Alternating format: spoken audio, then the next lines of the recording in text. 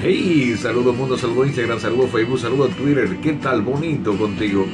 Ya es lunes, sí, ya son las 8 de la noche, por ahí 8 y algo, no tengo la hora exactamente conmigo ahora, pero es algo que, que me tomé hoy cuando abrí mi, mi, computador y abrí mi Facebook y me topé con el muro de Isaura Hernández, la hija del sonero Pichardo, gran amigo mío. Y algo que me llamó mucho la atención, y es algo que puse en el muro de ella y quería compartirlo con la gente de mi muro y la gente de Facebook, Twitter e Instagram. Y dice así, si pudiéramos mirar el corazón de otro y entender los desafíos a los que cada uno de nosotros se enfrenta a diario, creo que nos trataríamos los unos a los otros con más gentileza, paciencia, tolerancia y cuidado. Te lo voy a repetir.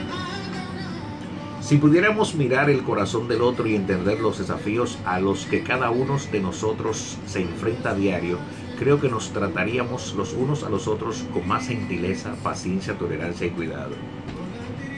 Esto es muy poco común encontrarlo en Facebook en los últimos días. Siempre está el bulto de la juca, la discoteca, que esto, que el otro, pero cada loco con su tema. Esto me llama mucho la atención y creo que es importante porque debemos de pensar en lo que el otro está enfrentando. Y como dice Zavala, en Zavala al día, hay que estar en los zapatos del otro.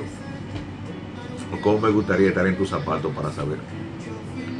Comienza la escuela, comienza la semana, así que ya tú sabes, hoy se acaba el fin del verano. No el verano se acaba, las playas se cierran. Así que te lo voy a dejar de tarea. Gracias a Hernández por esa aportación.